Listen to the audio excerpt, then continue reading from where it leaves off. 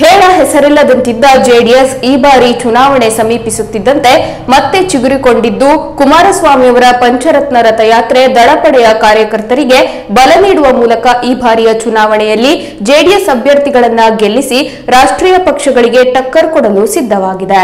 Ramakrishna Hegde R V Deshpande ಅವರು ಪಕ್ಷದಲ್ಲಿದ್ದ ಸಂದರ್ಭದಲ್ಲಿ ಜನತಾ ಪರಿವಾರ ಉತ್ತರ ಕನ್ನಡದಲ್ಲಿ ಬಲಿಷ್ಠವಾಗಿತ್ತು. ಎರಡು ಸಾವಿರದ ಎಂಟರ ಚುನಾವಣೆಯಲ್ಲೂ ಪಕ್ಷ ಕುಮಟ ಹಾಗೂ ಹಳಿಯಾಳ ಕ್ಷೇತ್ರದಲ್ಲಿ ಗೆಲುವನ್ನ ಪಡೆದಿತ್ತು. ಆದರೆ ಎರಡು ಸಾವಿರದ ಹದಿಮೂರು ಹಾಗೂ ಹದಿನೆಂಟರ ಚುನಾವಣೆಯಲ್ಲಿ ಪಕ್ಷದ ಅಭ್ಯರ್ಥಿಗಳು ಸೋಲನ್ನ ಕಂಡ ನಂತರ ಜೆಡಿಎಸ್ ಸಂಪೂರ್ಣ ನೆಲಕಚ್ಚಿದ್ದು, ಈ ಬಾರಿ ಯಾವುದೇ ಕ್ಷೇತ್ರದಲ್ಲೂ ಅಭ್ಯರ್ಥಿ ಕಣಕ್ಕೆ ಇಳಿಯುವುದು ಅನುಮಾನ ಎನ್ನಲಾಗಿತ್ತು. ಆದರೆ ಪಂಚರತ್ನ ಯಾತ್ರೆಯ ಮೂಲಕ ಮಾಜಿ ಸಿಎಂ ಕುಮಾರಸ್ವಾಮಿ ಜಿಲ್ಲೆಯಲ್ಲಿ ಸಂಚರಿಸುವ ಜೆಡಿಎಸ್ ಕಾರ್ಯಕರ್ತರು ಮತ್ತೆ ಕೊಡವಿ ನಿಲ್ಲುವಂತೆ ಮಾಡಿದೆ.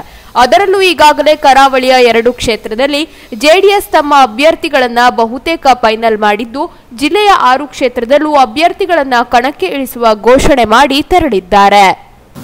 ಇದರಲ್ಲಿ ನಾನು ಏನು ನನ್ನ ಒಂದು ಗುರಿ ಇಟ್ಟಿರ್ತಕ್ಕಂಥದ್ದು, ಉತ್ತರ ಕನ್ನಡ ಜಿಲ್ಲೆಯಲ್ಲಿ ಪಕ್ಷ ನಶಿಸಿದೆ, ಕ್ಷೀಣಿಸಿದ ಪಕ್ಷ ಅಂತಕ್ಕಂಥದ್ದೇನಿದೆ.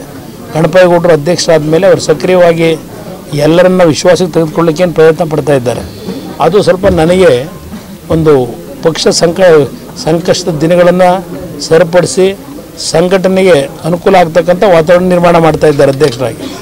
ಅದರಿಂದ ಮುಂದಿನ ನನ್ನ ಗುರಿ ಉತ್ತರ ಕನ್ನಡ ಜಿಲ್ಲೆಯಲ್ಲಿ ಕನಿಷ್ಠ ಮೂರರಿಂದ ನಾಲ್ಕು ಸ್ಥಾನಗಳನ್ನು ನಾವು ಈ ಭಾಗದ ಜನರ ವಿಶ್ವಾಸದೊಂದಿಗೆ ಅಭ್ಯರ್ಥಿಗಳನ್ನು ಇವತ್ತು ಇಲ್ಲಿ ಶಾಸಕರನ್ನ ಕಾಣಬೇಕು ಅಂತಕ್ಕಂಥ ನಿಟ್ಟಿನಲ್ಲಿ ನಾನು ಮುಂದಿನ ತಿಂಗಳು ಮತ್ತು ಇನ್ನೂ ಒಂದು ರೌಂಡು ಈ ಒಂದು ಭಾಗದಲ್ಲಿ ಪ್ರವಾಸ ಮಾಡೋನಿದ್ದೇನೆ.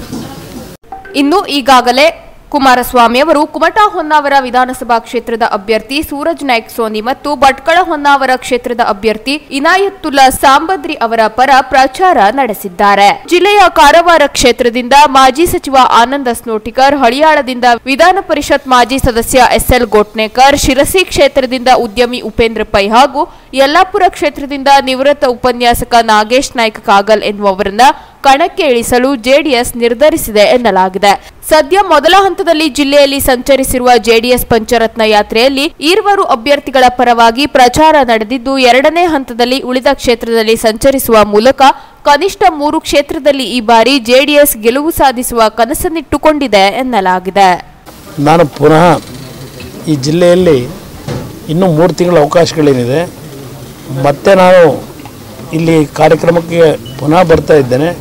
ನಾನು ಬರೋದರೊಳಗೆ ಸಿರ್ಸಿ, ಅಲ್ಲಿಂದ ನಿಮ್ಮ ಭಟ್ಕಳದ್ದಿರಲಿ, ಅಲ್ಲಿಂದ ಹಳಿಯಾಳ ಮತ್ತು ಯಲ್ಲಾಪುರ. ಈ ಭಾಗದಲ್ಲಿ ಸಿದ್ಧ, ಸಿರ್ಸಿ, ಸಿದ್ದಾಪುರ. ಈ ಬ ಕಾರವಾರ ಕಾರವಾರ ಕಾರವಾರ, ಅಂಕೋಲ.